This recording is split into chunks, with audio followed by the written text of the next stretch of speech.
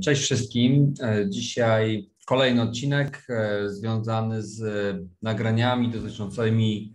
e, placówek, w tym placówek e, stomatologicznych, medycznych przede wszystkim, ale także innych firm. Przy czym ze względu no, na moje doświadczenie myślę, że głównym elementem, który dzisiaj będę poruszał, to będzie element medyczny tego tematu, mm, jak budować przewagę placówki medyczne, jak konkurować na dzisiejszym rynku. A dzisiejszy temat będzie poświęcony stricte, bardzo konkretnie, e, bardziej takiej e, te, tematyce związanej z czym jest, dora, czym, czym, czym jest doradztwo, jak ono wygląda, jak ono pracuje e, dla gabinetu, jak, jak ono może być konstruowane i co ono może realnie wnieść do firmy medycznej. I film jest ten skierowany dla wszystkich osób, które e, no, zastanawiają się, mm, czy warto udać się do kogoś po wsparcie, po to, żeby jeszcze lepiej poukładać procesy zachodzące w gabinecie medycznym, w firmie w ogóle też jak, jako takiej i jakie realne korzyści może taka współpraca e, przynieść. Więc e, może zacznijmy od tego tematu, czym w ogóle to doradztwo w takim zakresie czy też konsulting jest. Jeżeli chodzi o samo doradztwo, to jest po prostu mm, sposób na to, żeby e, za pomocą doradców zewnętrznych e, dookreślić, doprecyzować, co moja firma w danym momencie na rynku powinna robić. Więc doradztwo e, polega na tym, żeby skorzystać z usług E,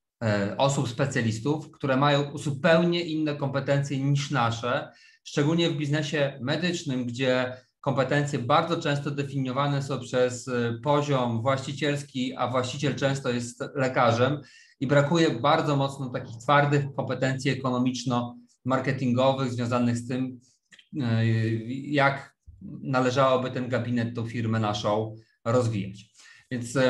a my, czy ja, osoby, z którymi pracuję, proponujemy doradztwo, które opiera się na pracy ludzi, którzy w tej medycynie świetnie się znajdują, świetnie potrafią się e, poruszać, potrafią taką przewagę konkurencyjną długofalowo budować. Więc e, co możemy, czego możemy się spodziewać,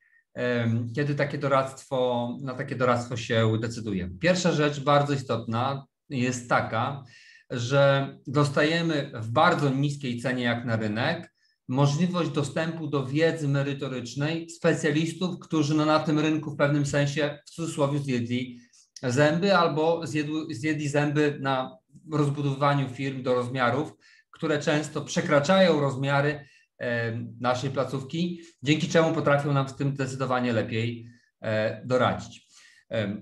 w pewnym sensie ci specjaliści dostają miejsce w firmie, w waszej firmie, w waszych e, placówkach, jako właściwie ten obszar rozwojowy, czyli dzięki temu uzupełniamy ten obszar rozwojowy, to żeby ta firma mogła iść do przodu, żeby mogła się lepiej rozwijać, co, na co my dzisiaj nie mamy powiedzmy czasu, bo dużo właścicieli nie ma czasu na to, żeby rozwijać swoją własną firmę, więc chciałaby, żeby to było dobrze poukładane, no ale jak ma to zrobić, skoro ręce pełne roboty, w związku z czym potrzebuje osoby, które im w tym temacie pomogą, dowiozą te obszary rozwojowe, też mając kompetencje, ale z drugiej strony nie płacąc im takich pieniędzy, które oni by dostawali na pełnym etacie, bo specjaliści, którzy pracują jako doradcy biznesowi, potrafią zarabiać bardzo duże pieniądze w cudzysłowie na etacie, ale my ich nie potrzebujemy, wy ich nie potrzebujecie do swojej firmy na pełen etat, tylko potrzebujecie ich do określonych zadań, dzięki czemu koszty stają się dużo, dużo e, mniejsze.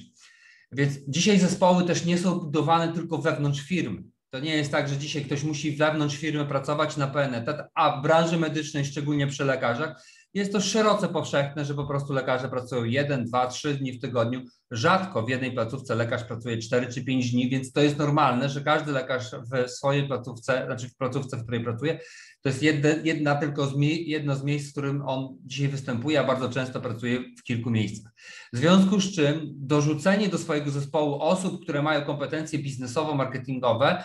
to jest tak naprawdę zbudowanie bardziej kompletnego zespołu, zespołu, którego być może wcześniej nie było, albo był budowany na dosyć niskich kompetencjach, a potrzebujemy kogoś, kto będzie silnym filarem budującym ten element biznesowy w naszej firmie, w firmie, w której na co dzień zarządzamy, ale też nie zawsze mamy czas, żeby robić to maksymalnie poprawnie. Kolejny temat, który to jest tutaj bardzo istotny, to jest to, że, że te osoby, które konsultują, te osoby, które są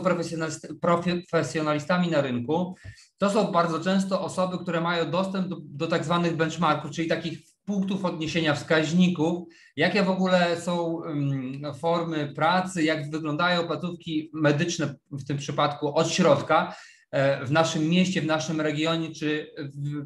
czy jak te placówki w ogóle funkcjonują w środku, jakie mają różnice między sobą, dzięki czemu posiadając takie benchmarki, e, można to odnieść do tej e, waszej placówki i wyciągnąć bardziej trafne wnioski. A jeżeli jest się właścicielem firmy, ciągle w niej się przebywa, ciągle na temat tej swojej firmy się rozmawia i tak naprawdę każda rozmowa często właściciela z innym właścicielem, to w wielu sytuacjach może być to rozmowa koleżeńska, przyjacielska, ale też często stanowi jakiejś formie konkurowania między sobą, no bo właściciel konkuruje z innym właścicielem, nawet jeżeli tego oficjalnie nie powie, to być może może taka sytuacja wystąpić. W związku z czym taki doradca stanowi taką oazę spokoju, że on podpowie najlepiej jak potrafi, bo za to, jakie wy będziecie mieli wyniki, on także współodpowiada, dzięki czemu będzie dbał o to, żeby te wyniki u was były jak najlepsze, porównując pewnego rodzaju procesy, które zachodzą u was w firmie do procesów, które zachodzą w firmie u kogoś innego. Także to jest bardzo istotny element. Kolejnym bardzo ważnym elementem jest to, że ci doradcy są też nastawieni na cele. Oni mają bardzo konkretne cele, e, którzy, które, e, które mają zdanie podnieść, poprawić jakość funkcjonowania, mają podnieść pewnego rodzaju obszary, które też Wam są potrzebne, dzięki czemu ta firma będzie się konkretniej rozwijała i te cele są wspólnie ustalane w oparciu o analizę danych, które funkcjonują w, też na rynku, które są potrzebne do tego, żeby ta firma lepiej pracowała, lepiej się E, rozwijało. E, chciałbym też powiedzieć kilka takich bardzo ważnych, istotnych rzeczy, jak w ogóle powinni, czy jak pracują doradcy, jak funkcjonują, dzięki czemu mają te rezultaty. E, myślę, że jedna z takich głównych rzeczy, która występuje, to jest to, że osoby, które starają się rozwinąć placówkę, które, które, które budują to, to, to przewagę konkurencyjną, E, zbierają bardzo dużo danych analitycznych e, na temat placówki. Są to dane finansowe, ale także dane niefinansowe. Są to pewnego rodzaju wskaźniki, które potrafią określić, e, jak wygląda środek organizacji, jak pracują najważniejsze elementy. Jak pracuje właściciel, lekarze, personel, jak to wszystko kooperuje z pacjentami,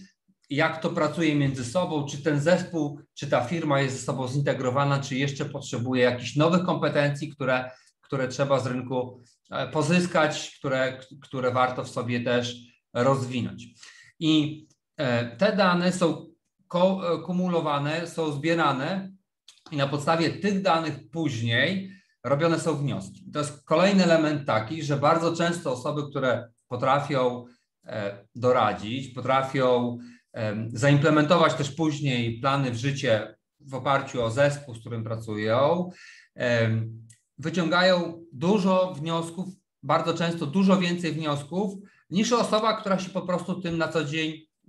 nie, zajmuje. Po prostu, jeżeli ktoś jest ekspertem, to jest normalne, że on patrzy i widzi więcej, że on patrzy, analizuje więcej danych, on potrafi też zadać dodatkowe pytania, czy też sformułować kolejne działania, które przyniosą więcej wniosków, dzięki czemu te wnioski będą potem lepiej pracowały nad planowaniem. Więc jeżeli już mamy takie wnioski, jeżeli te, te analizy mamy, możemy przejść do kolejnego e, etapu i tym kolejnym etapem będzie właśnie planowanie. Czyli dzięki temu, że e, firmy korzystają z doradztwa, doradcy im pomagają, mogą zdecydowanie lepiej planować te plany będą bardziej realne, e, rzeczywiste, będą e, pracowały lepiej dla firmy, e, bo nie będą aż tak życzeniowe, chociaż być może czasami trochę życzeń czy też szczęścia przydałoby się w trakcie naszych działań, bo nie wszystko jesteśmy w stanie przewidzieć. W każdym razie tematy będą dużo bardziej urealnione, będą prawdziwe, będą spójne z rzeczywistością, będą pracowały lepiej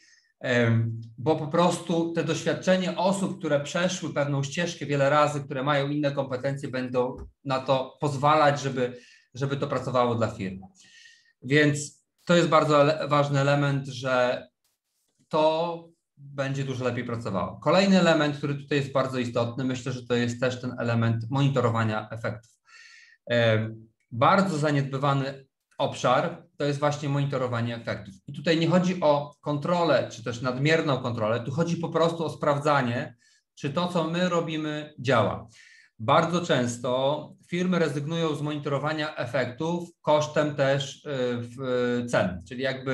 y, wiele firm, która jest na rynku, ma zbyt niskie ceny, przez co nie, nie może wdrożyć wszystkich obszarów, które w firmie powinny występować, więc obcina takie obszary, które wydają się być najmniej potrzebne albo są dodatkowo obciążające i tym jest także monitorowanie efektów. Więc jeżeli mm, osoba, która szuka jakiegoś e, doradztwa, planowania, nowych kompetencji do swojej firmy, jest właścicielem gabinetu medycznego, stomatologicznego,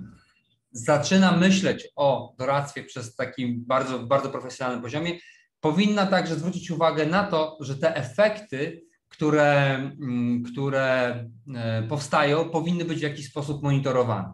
I tym także doradztwo może być, czyli może być też monitorowaniem efektów, regularnym sprawdzaniem efektów, czyli takim w pewnym sensie trenerem personalnym, który pokazuje, jak ćwiczyć, potem kontroluje podczas ćwiczenia, a na końcu wyciąga z tego wszystkiego wnioski i balansuje to, korygując pewne działania po to, żeby kolejny plan zrobić jeszcze lepiej, jeszcze dokładniej lub też zrobić kolejny etap, który będzie jeszcze bardziej rozwojowy.